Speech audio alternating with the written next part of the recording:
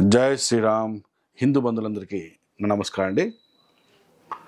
ఇక నిన్న నేను తిరుమల తిరుపతి దేవస్థానంలో జరుగుతున్న హిందువులకు వ్యతిరేకమైన హిందూ మతానికి హిందూ గ్రంథాలకు హిందూ దేవులకు వ్యతిరేకంగా టీటీ టీటీడీ పాలకవర్గం చేస్తున్న కార్యక్రమాల మీద నేను ఒక వీడియో పెట్టాను.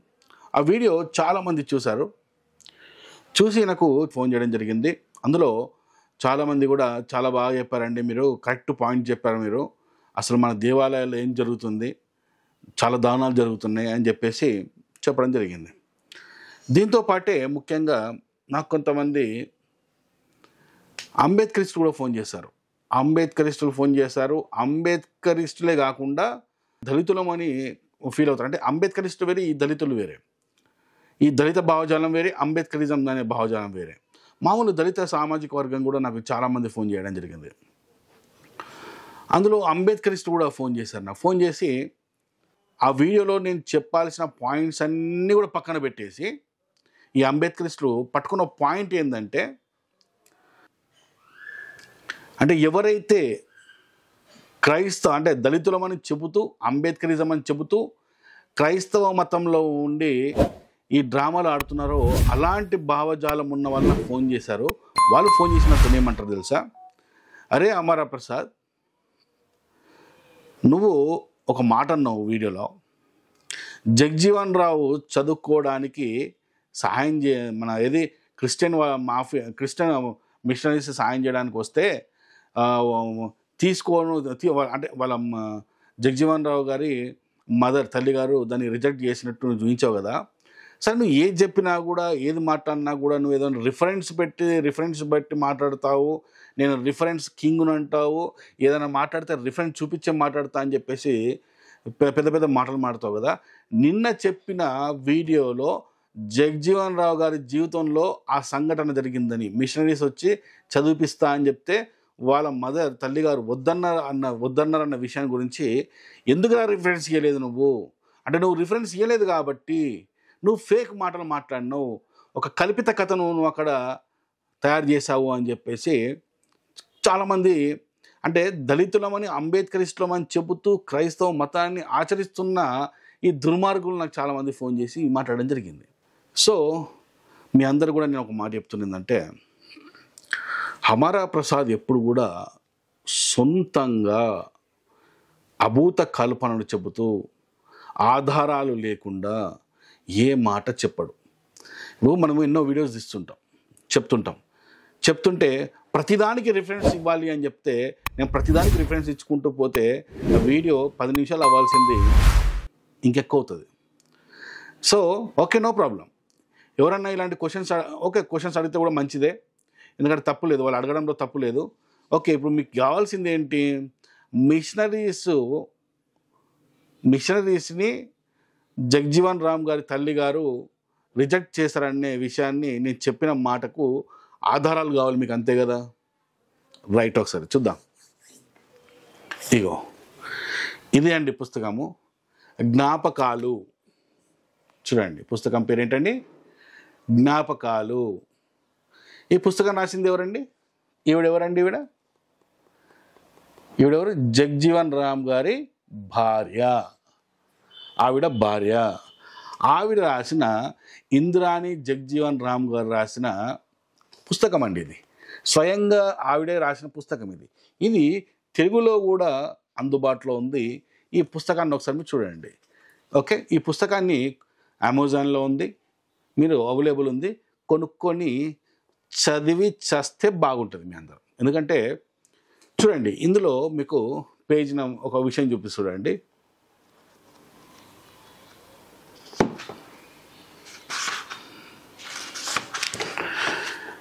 page number fifty two. Page number fifty two. Page number fifty టూలో స్పష్టంగా ఉంది చూడండి ఒకసారి. ఇది పేజ్ నెంబర్ ఫిఫ్టీ టూ. చలో fifty two and fifty three అనమాట ఫిఫ్టీ టూలో ఏం రాస్తుంది అనేది ఒకసారి చూద్దాం మనం. ఆయన ఉన్నత విద్య విషయంలో ఒక నిర్ణయం తీసుకోవాల్సి ఉంది. ఉన్నత విద్య తీసుకోవాల్సి ఉంది కదా. దీనికంటే ముందు ఆయన టెన్త్ క్లాసు పాస్ అయ్యారు కదా. ఆయన టెన్త్ క్లాస్ పాస్ అయ్యారు కదా. దానికి సంబంధించిన అయ్యో అది పేజ్ నెంబర్ థర్టీ నైన్లో ఉంది. ఇక్కడ ఉంది? పేజ్ నెంబర్ థర్టీ నైన్లో ఏమనుంది అంటే జగ్జీవన్ రామ్ మెట్రిక్ ప్రథమ శ్రేణిలో పాస్ అయ్యాడు. స్పష్టంగా రాసింది ఇక్కడ చూడండి. టెన్త్ క్లాస్లో ఫస్ట్ క్లాస్లో పాస్ అయ్యాడు. డాక్టర్ బిఆర్ అంబేద్కర్ గారు థర్డ్ క్లాస్లో పాస్ అయ్యారు. థర్డ్లో కూడా క- కనిష్టంగా చాలా తక్కువ తక్కువ మార్క్స్ వచ్చాయి. టూ హండ్రెడ్ సమ్ చెమ్ సమ్ చేంజ్ సంథింగ్ వచ్చినాయి అంతే ఆయనకు. ఆయన థర్డ్ క్లాస్లో పాస్ అయ్యాడు. డాక్టర్ బిఆర్ అంబేద్కర్ థర్డ్ క్లాస్లో పాస్ అయ్యాడు. బాబు జగ్జీవన్ రావు గారు ప్రథమ శ్రేణిలో పాస్ అయ్యారు. ప్రథమ శ్రేణిలో. క్లాస్లో టాపర్ అనమాట జగ్జీవన్ రామ్ గారు. ఓకే?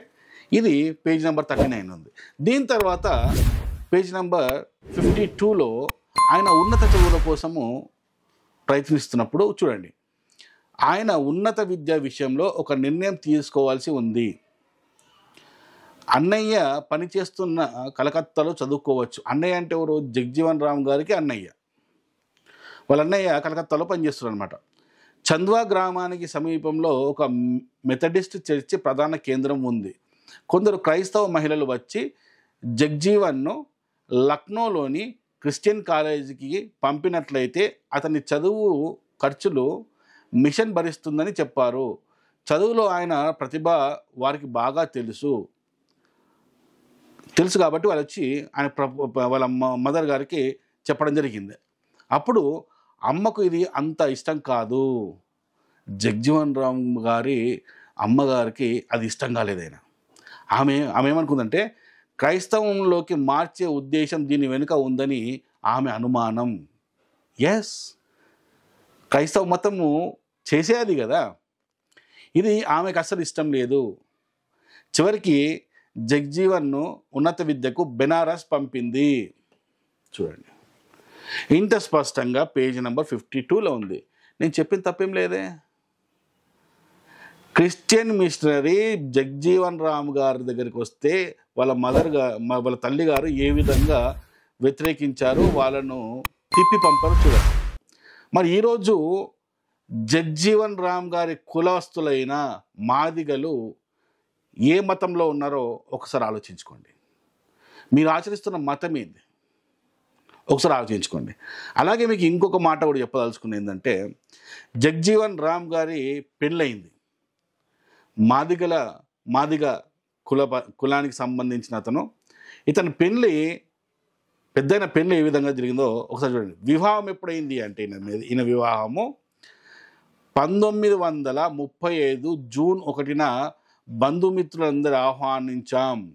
బంధుమిత్రులందరిని ఆహ్వానించారట. ఈయన పెళ్ళి ఎట్లయిందంటే తెలుసా? Page number thirty and page number thirty వన్లో ఉంది. వేద మంత్రాల వేద మంత్రాలతో పెళ్ళయిందట.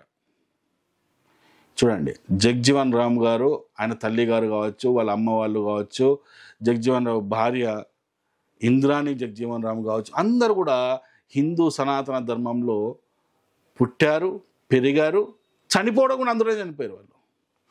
హిందూ ధర్మం కోసమే చనిపోయారు వాళ్ళు. మరి జగ్జీవన్ రామ్ గారిని మీ కులమైన మాదిగ సోదరులారా మరి మీ అందరూ ఆచరిస్తున్న మతం ఏదో ఒకసారి ఆలోచించుకోండి. మీకు ఇంకొక చిన్న విషయం కూడా చెప్పదలుచుకోండి. టెన్త్ క్లాస్ అయిపోయింది కాబట్టి. ఈయనకు పేరు జగ్జీవన్ రామ్ గారి పేరు చూడండి. ఎట్లా ఎలా ఎలా పెట్టారనేది చూడండి. జగ్జీవన్ రామ్ చొడుకు ఒబువా విక్రమ సంవత్సరం. చూడండి. విక్రమ సంవత్సరం పంతొమ్మిది వందల అరవై ఐదు చైత్ర శుక్ల తృతీయన అంటే పంతొమ్మిది వందల ఎనిమిది ఏప్రిల్ ఐదవ ఐదు ఆదివారం తెల్లవారుజామున మూడు నుంచి నాలుగు గంటల మధ్యలో పుట్టాడు. పండిత్ బుద్ధ్ రామ్ అని పేరు పెట్టాడు. కానీ తండ్రి అంటే జగజీవన్ తండ్రి పవిత్ర గ్రంథాన్ని పరిశీలించి ఒక పవిత్ర గ్రంథాన్ని పరిశీలించి జగ్జీవన్ రామ్ అని మార్చాడు. వాళ్ళ పిల్లలకి అందరూ కూడా జగ్జీవన్ రామ్ గారి అన్నలకు సోదరు తమ్ముడు మన సోదరి సోదరి వాళ్ళకి అందరికి పేరు వీళ్ళని చూడండి ఒకసారి. పిల్లలందరికీ మంచి మంచి పేర్లు పెట్టారు. పెద్ద కొడుకు పేరు సంత్రామ్ కూతుర్ల పేర్లు బాల్కేశి రామ్కేశి రామ్దాసి సంత్రామ్ సంత్ రామ్ కుమార్తెలకు గంగా అని పేరు పెట్టాడు. చూడండి. జగ్జీవన్ రామ్ గారు ఎంత చక్కగా హిందూ మతాన్ని ఆచరిస్తున్నారు అనేది స్పష్టంగా ఎంత క్లారిటీగా ఉంది చూడండి. ఇప్పుడు ఈ వీడియో ద్వారా నేను చెప్తున్నది నేను చెప్పదలుచుకుంది ఏంటంటే అమరాప్రసాద్ ఏదైనా చెప్పినా కూడా ఆధారాలతోని ఇలా పుస్తకాలు చదివిన తర్వాత అవి బ్రెయిన్లో పెట్టుకొని గుర్తున్న వరకు పేజీ నెంబర్ గుర్తుండకపోవచ్చు పేజీ నెంబర్లు గుర్తుండకపోవచ్చు గుర్తుండవు. కానీ సబ్జెక్ట్ అయితే గుర్తుంటుంది కదా. ఈ సబ్జెక్ట్ ఈ ప్రాణ పుస్తకంలో ఈ సబ్జెక్ట్ ఉంది అనేది. సో ఆ సబ్జెక్టుని మేము చెప్తాను తప్పించి సొంతంగా ఏది చెప్పడు. మరి ఈరోజు మాదిగ సమాజము మాదిగ సమాజానికి అసలు అంబేద్కర్ కంటే కూడా ఎంతో ముఖ్యమైన వాడు మాదిగ జాతికి.